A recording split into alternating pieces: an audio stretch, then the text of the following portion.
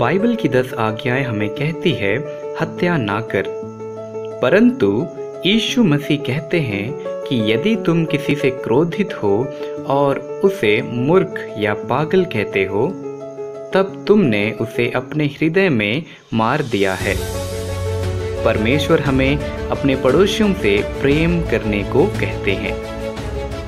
लेकिन हमारा पड़ोसी कौन है? हमारा पड़ोसी कोई भी हो सकता है जिनसे हम संबंध रखते हों।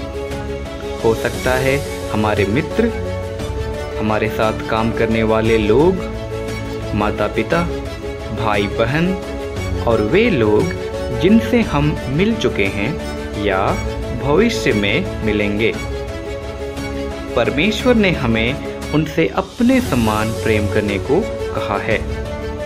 और बाइबल कहती है, यदि कोई कहे कि मैं परमेश्वर से प्रेम करता हूँ और अपने भाई बहन से नफरत करता हो तो वह व्यक्ति झूठा है। यदि हम उनसे प्रेम नहीं कर सकते, जिनको हम देखते हैं तो उस परमेश्वर से हम कैसे प्रेम कर सकते हैं, जिनको हमने देखा नहीं है?